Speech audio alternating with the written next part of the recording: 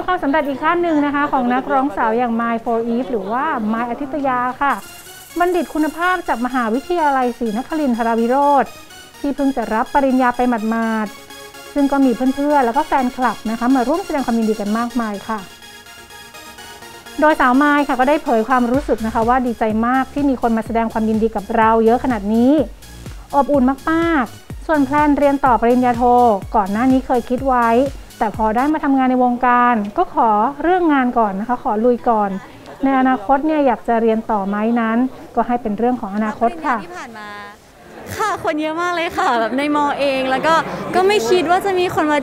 มาเจอเราเยอะขนาดนี้เหมือนกันค่ะ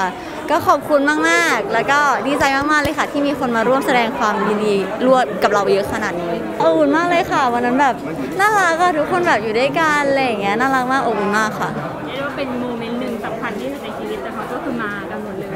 ใช่ค่ะแบบพอวันเรียนจบของเราเนาะปีหนึ่งมันก็จบครั้งหนึ่งอะไรอย่างเงี้ยเขาก็มาหามามาเจอกันก็